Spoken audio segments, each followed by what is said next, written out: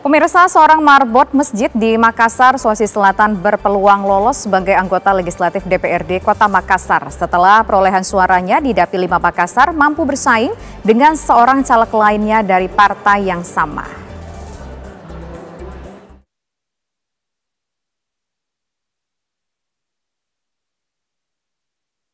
Parang Tambung, Kecamatan Tamalate, Kota Makassar, yang juga seorang calon anggota legislatif dari daerah pemilihan Makassar 5 yang meliputi Kecamatan Tamalate, Kecamatan Mariso, dan Kecamatan Mamajang, Kota Makassar, yang kini berpeluang lolos sebagai anggota DPRD Kota Makassar.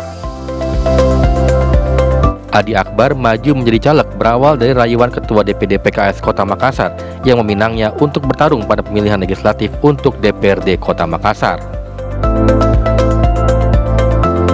Caleg PKS Dapil Makassar 5 nomor urut 1 itu kini berpeluang lolos setelah hasil penghitungan suara tim suksesnya menunjukkan ia meraih suara terbanyak untuk caleg PKS di dapilnya. Sementara dari penghitungan sementara KPU Kota Makassar, Adi Akbar berada di posisi kedua bersaing ketat dengan caleg lainnya.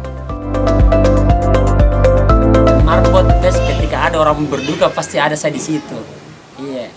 Iya bantuan sosial apa saja yang kita eh kayak kain kafan gratis ambulans saya yang bantu apa?